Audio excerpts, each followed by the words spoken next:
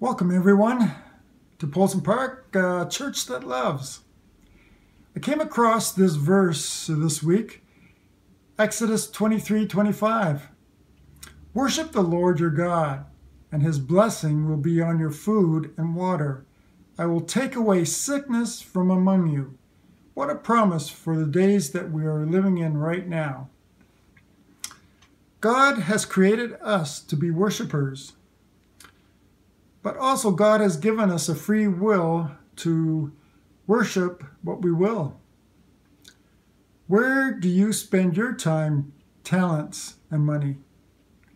The answer to that question is more than likely different now than it was prior to COVID 19. I know myself, I spent a lot of time in front of the TV watching the Toronto Raptors. Would the Raptors repeat as NBA champions? I may never know. Was I worshiping the TV? Everyone is having time these days to reflect on deeper questions of life. Maybe this is one of the questions that have come to your mind.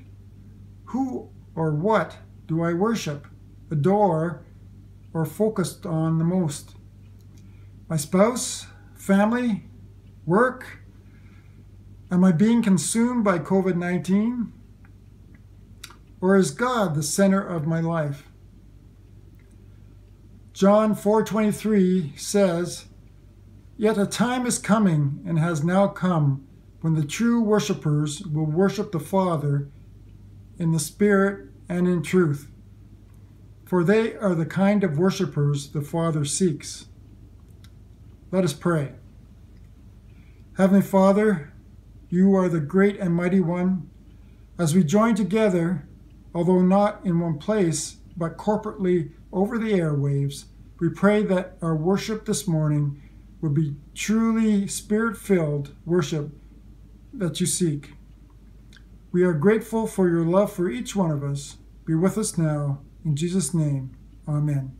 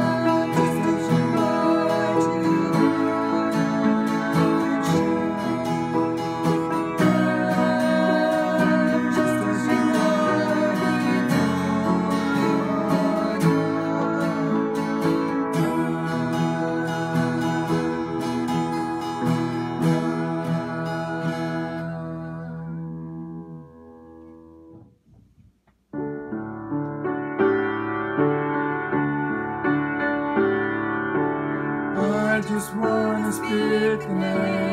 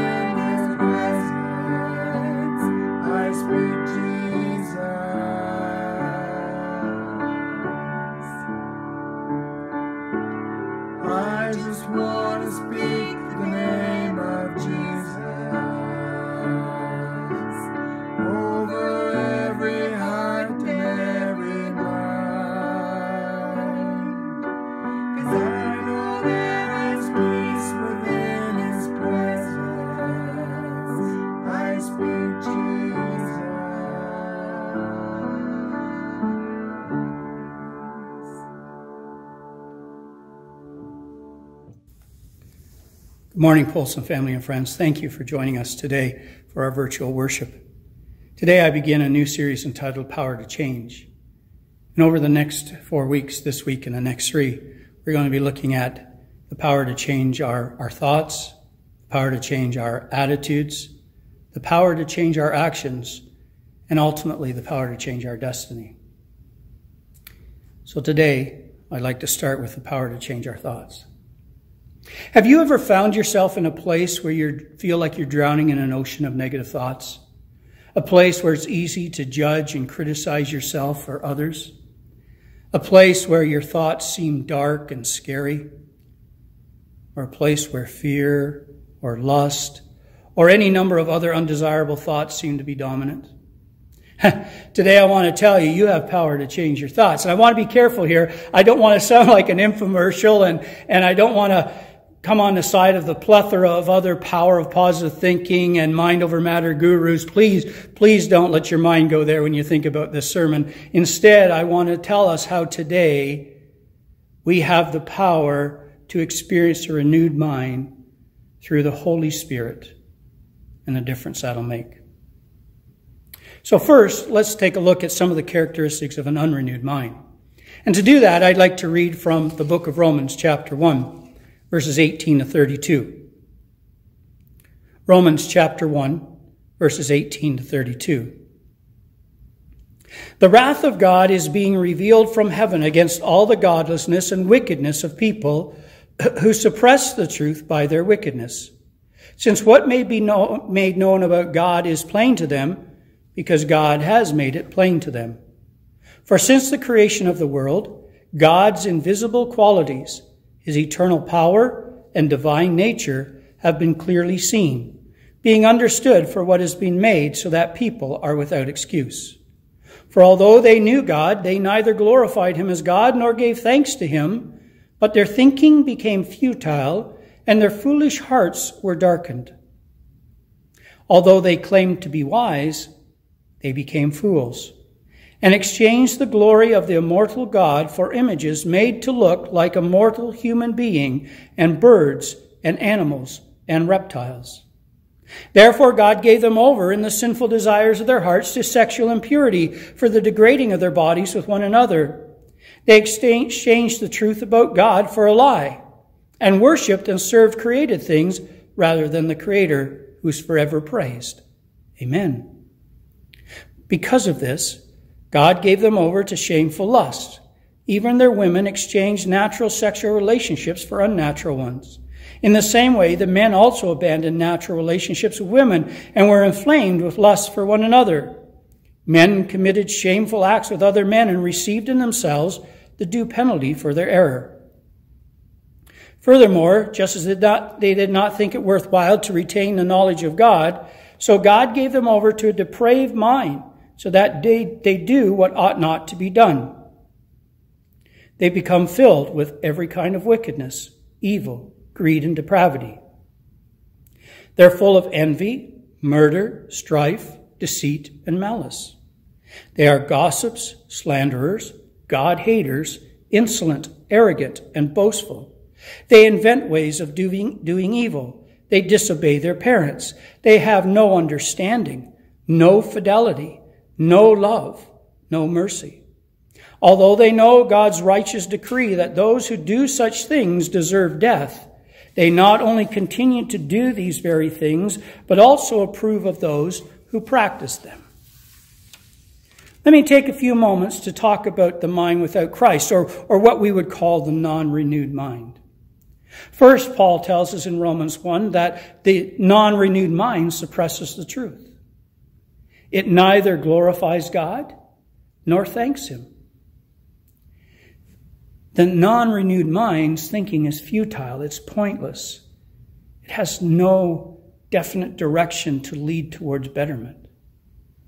It exchanges truth about God, about God for lies, and it worships things instead of God. As a matter of fact, the the non renewed mind actually doesn't think it's even worthwhile to retain knowledge of God. They discard it. They, they don't even have any belief in God. Paul says that it is a depraved mind. A depraved mind that does what ought not to be done. And it not only does what ought not to be done, but it even gives a stamp of approval on others who do those things. Paul says in 2 Corinthians 4 4 that the God of this age has blinded the mind of unbelievers so that they cannot see the light of the gospel that displays the glory of Christ, who is the image of God. In Romans 8, he, he gives a comparative between the mind of the flesh, the non-renewed mind, and that of those living in the Spirit. He says that those who live according to the flesh have their mind set on what that, on what the flesh desires. Uh, let's just back up for a minute. Let's go back to Romans chapter 1, the latter part of Romans chapter 1, because Paul describes some of what that looks like. They have become filled with wickedness, evil, greed, and depravity. Their minds are full of envy and murder, strife, deceit, and malice, gossip, slander. They're God haters, insolent, arrogant, and boastful. They invent ways of doing evil. They disobey their parents. They have no understanding, no fidelity, no love, and no mercy. That's some of the characteristics of the non renewed mind. But Paul says, but those who live in accordance to the Spirit have their mind set on what the Spirit desires. And what does the Spirit desire? The Spirit desires to reveal God and His truth. The Spirit desires to bring glory to God. The Spirit desires to produce His fruit in you.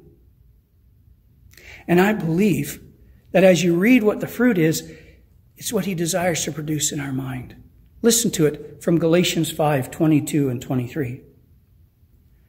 But the fruit of the Spirit is love, joy, peace, patience, kindness, goodness, faithfulness, gentleness, and self control. Do you see the contrast?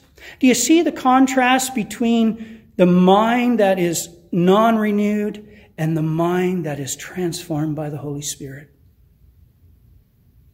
Paul goes on to say in Romans 8 that the mind governed by the flesh is death, but the mind governed by the Spirit is life and peace. The old way of thinking, the non renewed mind, sucks the life out of us. It kills us. It, it brings us to that place and leads us to destruction. But the mind governed and controlled and renewed by the Holy Spirit brings life and peace. So let me ask you today how you think about four key areas of your life. What do you think about God? What do you think about yourself? What do you think about others? And what do you think about life situations? Where do your default thoughts usually take you? For instance, when you think about God, do you see His goodness and His love and His grace or not?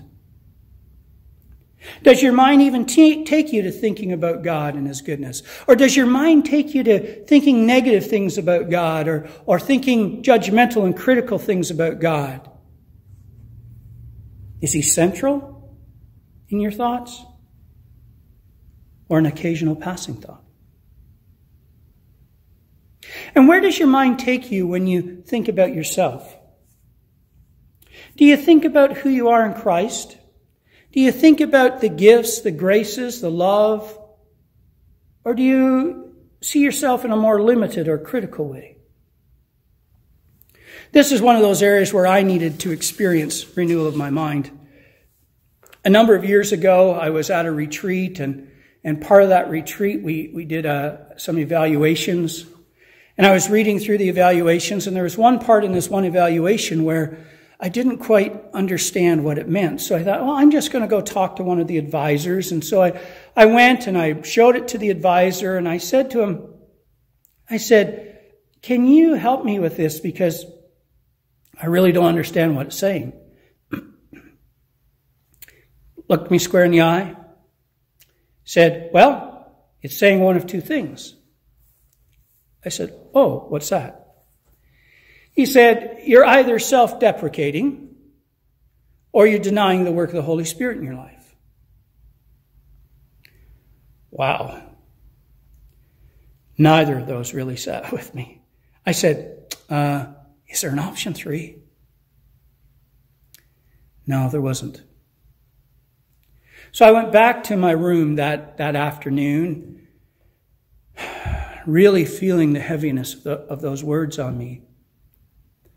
And I spent the next number of hours asking the Lord, asking the Lord to reveal to me the lies that, that were binding me. What were the things about myself that I was judging and condemning myself for? Was I really denying the work of the Holy Spirit in my life? Was I minimizing who He was and what He did? And that afternoon into that evening, God was able to reveal. He was able to free. He was able to give me a fuller understanding of my identity in Christ, fuller than I'd ever imagined. Man, I can't tell you the difference that made in my life. When all of a sudden my thoughts were not self condemning, self judging, self belittling, to now I was free to be who God wanted me to be. How do you see yourself? And what about others? Do you think about what's good and praiseworthy in them, or, or are you quick to note shortfalls and criticize and judge? And what about life situations? Do you think about how God is at work and in control? Or do you allow your thoughts to be filled with what's negative, fear, worry, or even a what's the use mindset. Paul says in Colossians 3 1 to 3, he says, Since then you have been raised with Christ, set your hearts on things above, where Christ is seated at the right hand of God. And then he says, Set your minds on heavenly things, on things above, not on earthly things. Why? For you died and your life is now hidden with Christ in God. Friends, we have the power to experience a renewed mind through the work of the Holy Spirit, and it will make a difference. So, how does this renewing of our minds happen? Let me give to you a few thoughts. First, I believe it starts with prayer. It starts with prayer in which we acknowledge and confess those, those things in our life that we already know are negative or destructive, whether it's our views of God, views of ourselves, views of others, views of life situations. Those things that as we think about it, they become heavy, they become dark, they become weighty. Those things that push us down and suppress us. Those things that steal away our joy. Those thought patterns that do not allow us to experience the fullness of God. We acknowledge those and we confess those. And then we release them and we surrender them to God. We say, God, I just, I give these to you. I surrender the way I view you. I surrender the way I'm viewing my spouse. I sur- whatever it is, we surrender that. And then we invite him to take those things. Lord, I invite you to take these thoughts, and you, you, can name the thought. I invite you to take away the thoughts, the negative thoughts I have about my spouse. I invite you to take away the negative thoughts I have about this person or this situation. And then we receive from him. And here's where I, I usually shift into what I call the show me prayers. And I start out by saying, God, Show me the lies. Show me the half truths. Show me those falsehoods that are permeating my thoughts, that are guiding my thoughts. And then the second thing I say is this. Oh, by the way, when he shows you those things, go back and acknowledge and confess, release and surrender, invite him to take it and, and receive from him. And then the second thing I, I ask him to show me is show me how to renew my mind. I've realized that unless he shows me this, I really am not sure how to do it. And so here's some things that help with that. second thing, first one, start with prayer. Second one is read the word. We read the word to discover truth about God, ourselves, others, and life situations. Many times we have established our thought patterns based upon non-truth or half-truth or lies. And so by, by reading the word, it gives to us new truth to allow us to build a new foundation for our thought life. And then we don't just read the word. The third thing we do is we meditate on that word because meditating on the word allows God's truth to become more central in our thoughts. It allows the truth that he's given to us to go down deeper, to take some roots, to help us to be more solidified in that truth. The fourth thing I do is I audibly pro- proclaim God's truth. Here's what I've discovered. Speaking truth shines God's light and power into the active darkness of my thoughts. For instance, perhaps I'm struggling with uh, my relationship with my spouse. I'm not at this moment. Want you to know that. But perhaps I have thought about over the years, there's been times where perhaps I've thought negative things about my spouse. And I've allowed those negative things to become the central record playing in my mind. And so it starts out usually this way. It starts out as a very small, insignificant thing. And I allow it to grow and grow and grow in my head. Marcy has never done another thing. But what I've done is I've allowed my mind to take that one insignificant thing and build it so it becomes something huge. Sometimes what we need to do, many times what we need to do, is audibly proclaim the truth into that situation. So, for instance, there was one time where I had to say, God, your truth says that I should keep no record of wrongs. So, Lord Jesus, I release this wrong so that it is no longer a record. I release it to you and leave it for you because this is not love. Love keeps no record of wrongs. Therefore, I release it to you. Do you see how that works? You take a biblical truth and you speak into the situation, into the thought pattern that's there, and we release it to God. We shine light on it to dispel the darkness. We start with prayer, we read the word, we meditate on the word, we audibly, audibly proclaim God's word.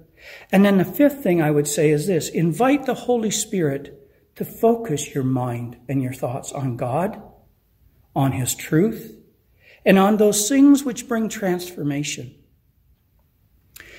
This sometimes can be a battle because it's real easy to fall back into the old pattern. It's real easy to let the old thoughts come back and to dominate and to control. And so we ask the Holy Spirit to take control of those thoughts and to replace those old thoughts with the new thoughts so that we can live in the reality of our mind being transformed and renewed on God, His truth, and the reality. And then after we've done this, there's one other thing I think is important. I think it is important for us to set a new thought practice and criteria. And one of the thought practice and criteria that I would encourage you to establish in your life is what Philippians chapter 4 verses 6 to 8 tell you.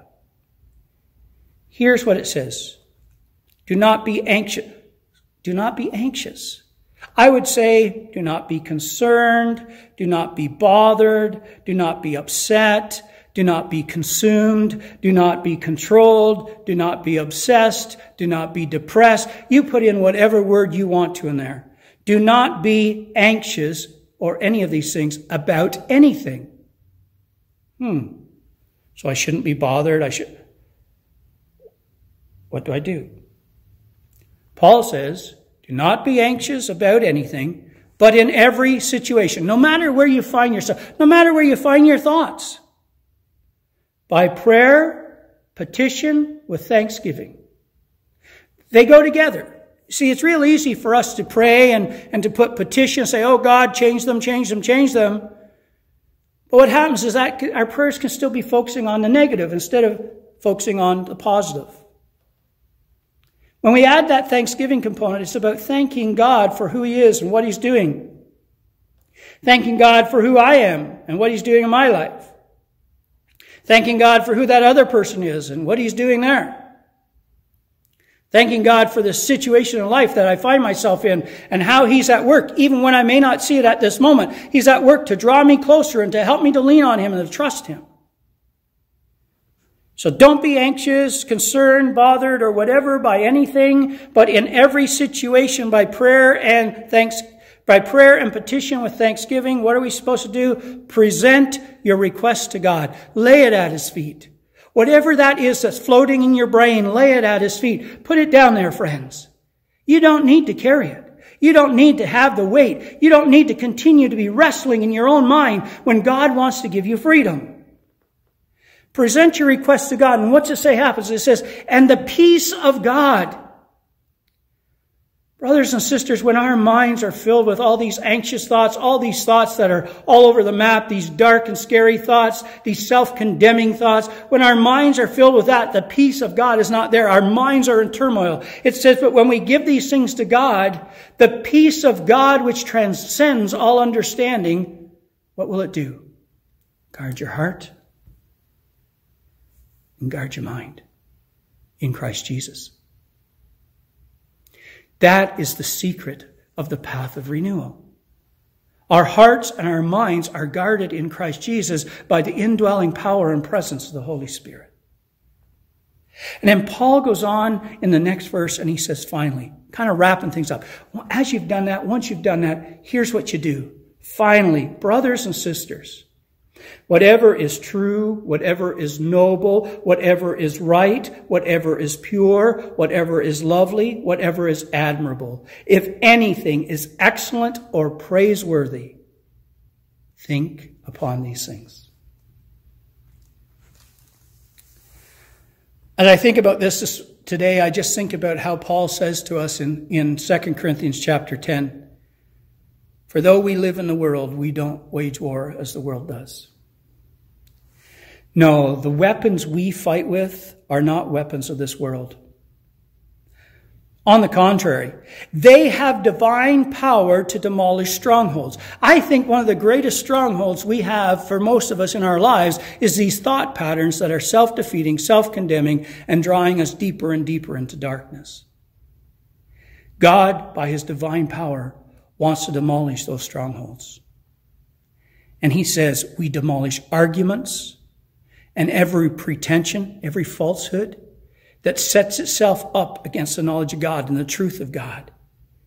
And here's what he says we do. And we take captive every thought to make it obedient to Christ. There's a battle. But we don't fight as the world fights. We fight with the power of God through the Holy Spirit. Be transformed by the renewing of your mind. Then you'll be able to test and approve what God's will is His good, pleasing, and perfect will.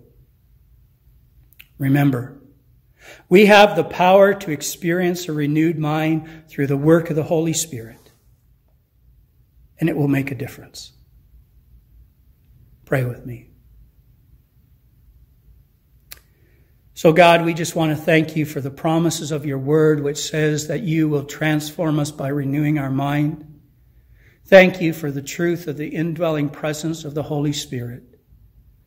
And now I pray in the name of Jesus and by the authority of Jesus' name that you will teach us. You will teach us how to live in the truth that we have heard, the truth that we can have our thoughts changed by the indwelling power of the Holy Spirit. Holy Spirit, would you take us deep today and each day with you? Would you transform us and renew our minds so that we may see the truth of who God is, who we are, who others are, and the reality of our life circumstances in a way that brings glory and thanksgiving to you. In Jesus' name, amen.